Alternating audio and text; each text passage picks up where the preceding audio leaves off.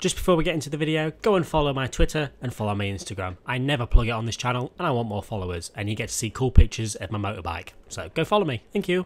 How's it going everyone? JakeXVX here, back on Forza Horizon 4 once again. Around a month or so ago I made a video talking about why I thought Forza Horizon 4 was dying in the current stage that it was at. Kinda gave my opinions and thoughts of what the, what the current stage of the game is, where it's going to go in the future, and quite happily at the moment I can say that I don't think Forza Horizon 4 is dead at all. I think that the second expansion has helped massively in reviving the game, giving people lots more things to do, whether you're an advanced player or whether you're a beginner player. I think expansion 2 plus all the new features that they've been adding, they've been going crazy with it. I think Forza Horizon 4 is currently doing pretty well, which kind of relates to the topic of today's video, where I'm going to be talking about 10 things, whether that's features, updates, additions, that I think at some point within the Forza Horizon 4 lifespan will be added. Now none of this is confirmed, a few bits might be, but this is just in my opinion some of the things I think that will be added to the game over the next year or so, however long of the lifespan is of this game is left.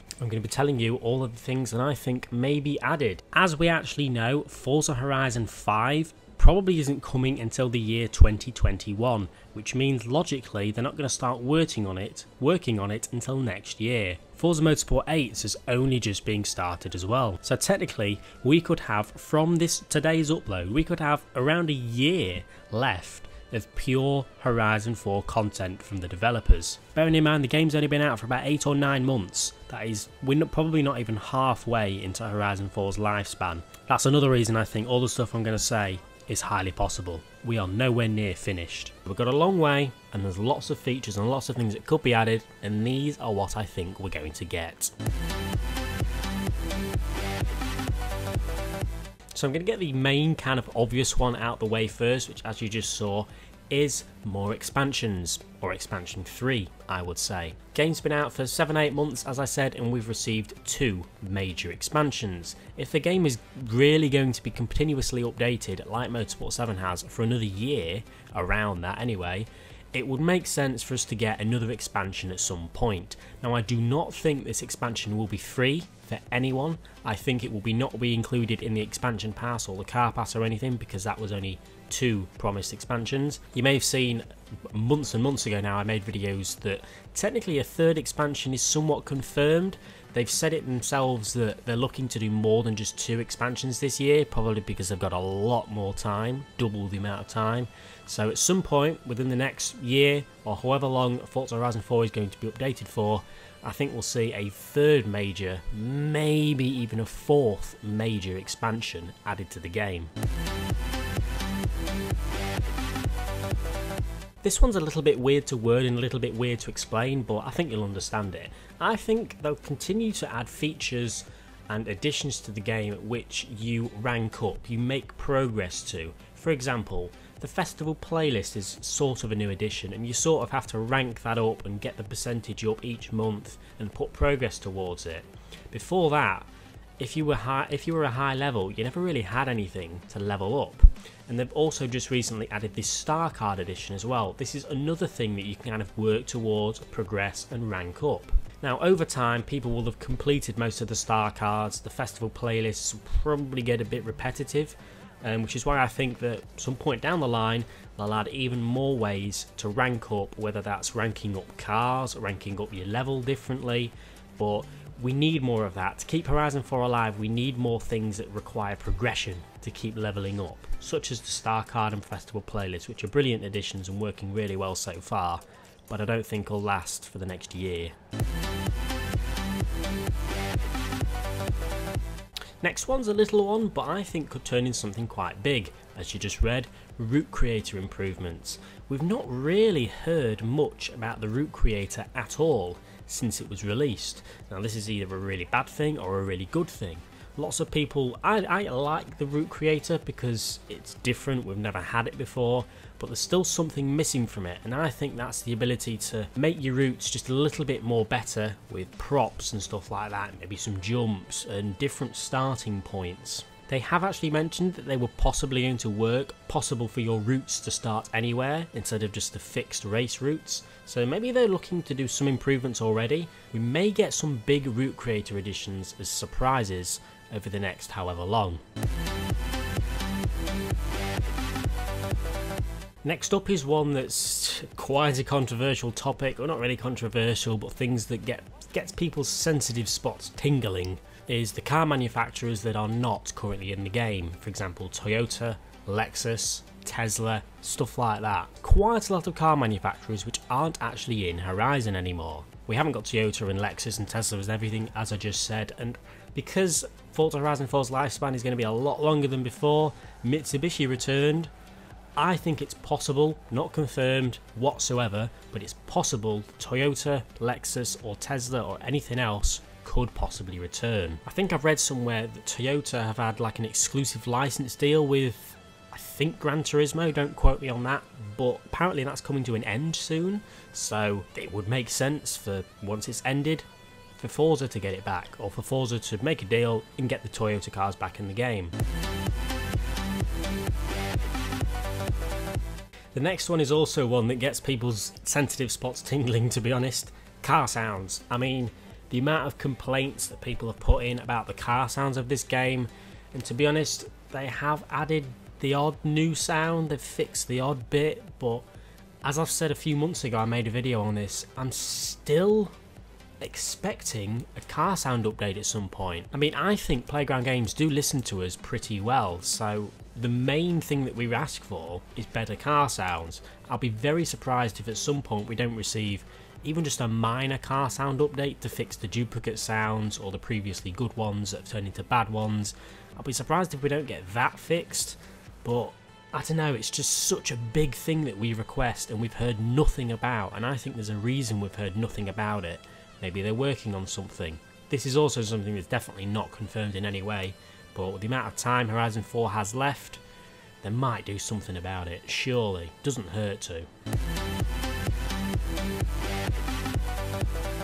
Next one is a bit of a general one as you saw, it's just basically more customization options. In the past we have received more customization options, we've been given more rims, we've been given the, the painting, advanced painting kind of stuffs, and we know that Playground Games are interested in this type of stuff because they've mentioned the brake caliper painting that they wanted to do, but they found out it was a bit too hard. I think they've they heard about the window stickers that we were requesting for, they said that's a bit too difficult as well. Um, I'm expecting more body kits because we're continuously getting body kits since release, so we'll get keep getting more body kits definitely. Customization is a big thing in racing games, and Playground Games seem to be quite interested in it, as I've said. So yeah, I think gradually, bit by bit, maybe some big things every now and then, we'll continue to get more customization added and added and added to the game.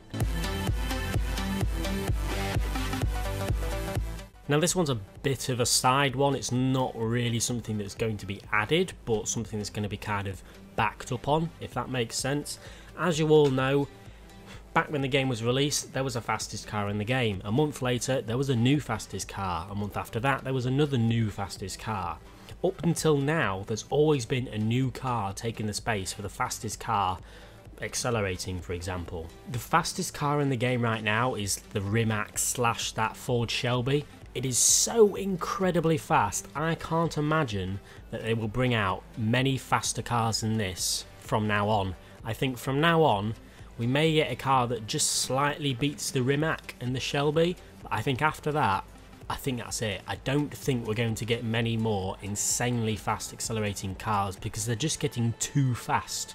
That Rimac is absolutely ridiculous, and so is all the other ones that are even close. So as unfortunate it is to say, I think from now on, for the rest of the game, I don't think we're going to get many more unbelievable cars that take the number one spot for the fastest accelerating car. Now this one, I don't think many people are going to expect this, and I'm going to give you my reasons why I might expect this myself.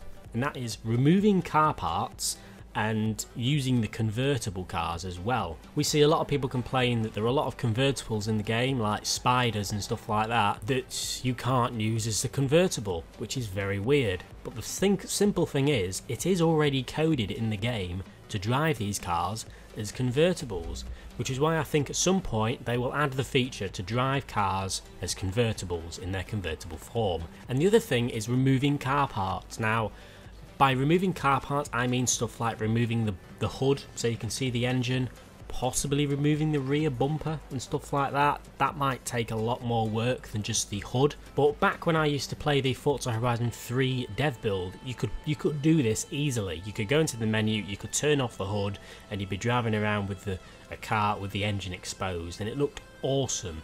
But yeah, it's stuff that's already in the game. Doesn't take much work, I don't think. So yeah, I think we may see that at some point. Next up is more mad cars. As I said in another point, I think they're going to hold back from adding ridiculously accelerating cars or adding cars that can be upgraded to be ridiculously accelerating is what I actually mean. But recently they've kind of been adding weird stuff, like we got the tractor, which is very bizarre, and then they've technically coded into the game the ability to drive the truck, which they haven't given us as a car because it's too big, which isn't really an excuse. I think we'll get the truck eventually, but the tractor, the truck, they've really seemed quite interested in adding all these bizarre vehicles. So at some point, over the next however long, as I keep saying, I think it's on the table to expect some more crazy weird cars like this, possibly even a bus, the truck that I mentioned. People enjoy driving them, they're just so weird and bizarre, even I enjoy driving them. I don't think they'll make them drivable in races, definitely not, they'll, they'll maybe just be free roam only and maybe no contact with them possibly, but I think we can expect, which will be pretty cool. And one of the last and final things that I'm expecting is festival playlist changes. Now, changes, what I mean by that is different things to do on festival playlist. At the moment, it's kind of the same thing over and over again. You get championships to do, you get the seasonal PR stunts to do, and then you get maybe the online adventure and the Horizon story if there is one, and a, and a showcase remix from time to time. But if you think about it, if we're going to get a new festival playlist every single month, I think it's only going to take a few more months for the festival playlist to get very repetitive because it's the same thing over and over again. I think to the festival playlist they'll add different ways to rank up your percentage. The LEGO challenges are challenges that we've never seen before, like smashing 10 of these items in 5 minutes or whatever, or going from here to here on the map in 55 seconds. These challenges I actually enjoy because they're always so different, they're always actually sort of difficult to do, but they're also fun at the same time. Now, I don't know if they'll add stuff exactly like that to Festival Playlist, but to the Festival Playlist, it needs something different added to rank up the percentage. Instead of just doing this championship this week and then, oh, this week do this championship instead, it gets a bit repetitive. So I think they're going to change that up a bit. To be honest, in this video, I kind of covered every single aspect of the game customization, cars, all the features, expansions, and I basically I personally think that every single aspect of the game will get an update at some point. I'll say again, none of this is confirmed whatsoever. I'm not going to leave this video dragging on for too long, so let me know in the comment section below which one of these 10 things you want most, or which, which ones of these several things. I think most of you are going to say Toyota, to be honest. But anyway, ladies, leave a like if you've enjoyed, subscribe if you haven't already for more Forza Horizon 4 content, and I'll see you all later.